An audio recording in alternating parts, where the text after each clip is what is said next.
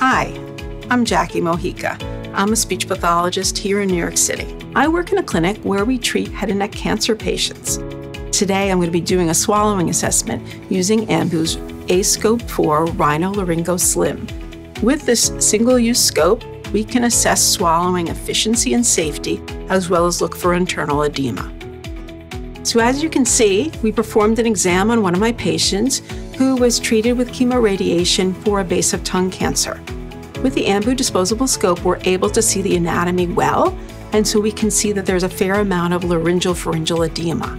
We can assess the swallow by presenting food boluses and then viewing the before and after of the swallow.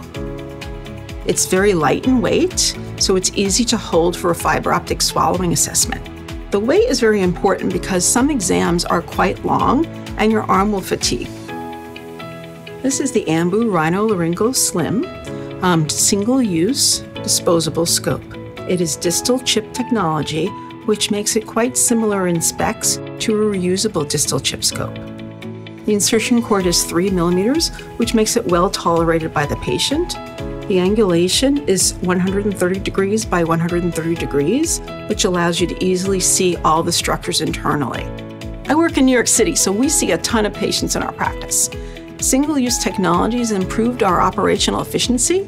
We can see patients more quickly because we don't spend time with the logistics of reprocessing a scope. We open a package, we perform our examination, and then we discard or recycle the scope.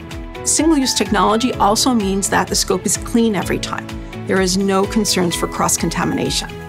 Ambu's aScope has definitely added value to my practice.